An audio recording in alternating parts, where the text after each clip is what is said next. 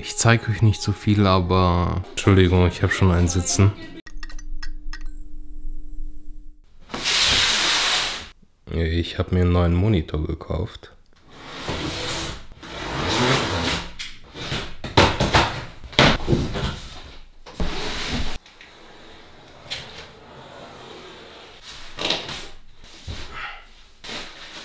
Okay, alles klar. Das ist hier der Lieferumfang. Netzteil, Fußteil. Dann das Ding, das ist auch irgendwie... Kommt hier rein. Und was besonders geil ist, ein HDMI-Kabel und so wie es aussieht, ein DisplayPort-Kabel. Was auf jeden Fall geil ist. Ich hatte echt keinen Bock, noch extra 20 Euro oder so auszugeben. Gut 10 Euro für so ein extra Kabel dann.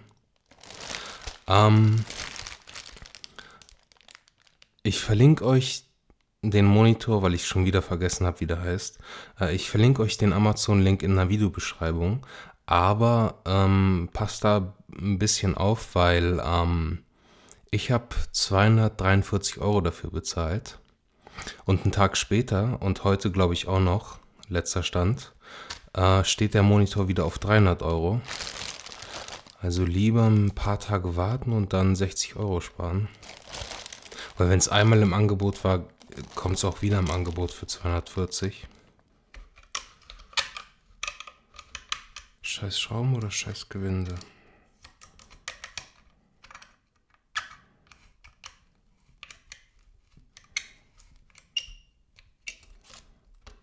Nee, es gefällt mir nicht.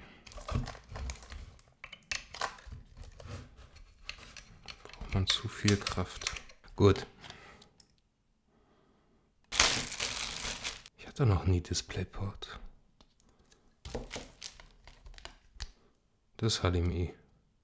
Theoretisch kann ich an meine Grafikkarte drei Monitore anschließen. Aber äh, seht ihr wahrscheinlich gleich. Es wird ein bisschen knapp mit dem Platz. kommst dahin.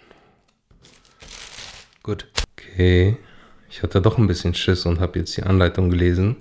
Man muss ihn halt aufs Gesicht legen und dann ordentlich reindrücken, den Standfuß. Und zum Rausnehmen einfach wieder ziehen. Der hat zwei HDMI-Anschlüsse. HDMI 1 läuft wohl äh, 4K, aber nur auf 30 Hertz. HDMI 2 dafür auf 60 Hertz. Und DisplayPort nehme ich ja sowieso und der hat auch äh, 60 Hertz Unterstützung, von daher. Das Modell hier gibt es, glaube ich, schon, so wie ich es verstanden habe, seit, naja, nicht ganz 10 Jahren. Aber weil sich so viele Leute beschwert haben, dass es keine Wandhalterung gibt, ist hier jetzt in den neueren Versionen das Weser-Ding vorgebohrt. Weiß ich nicht, vielleicht nur, dass ihr darauf achtet, halt, falls ihr sowas gebraucht bei eBay kauft den Unterschied zu 22 Zoll links und 28 Zoll neu hätte ich mir ehrlich gesagt größer vorgestellt. Weil ich hatte immer Angst, dass ähm, alles über 22 Zoll ähm, zu groß ist. Aber der wirkt gar nicht so groß, oder? Für 28 Zoll. Der Unterschied von 22 Zoll auf 3 auf 28 Zoll ist doch ein bisschen kleiner, als ich eigentlich dachte. Also die Auflösung ist viel, viel, viel geiler.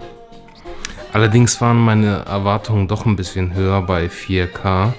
Also ohne Scheiß, ich habe noch nie so ein scharfes Bild gesehen. Aber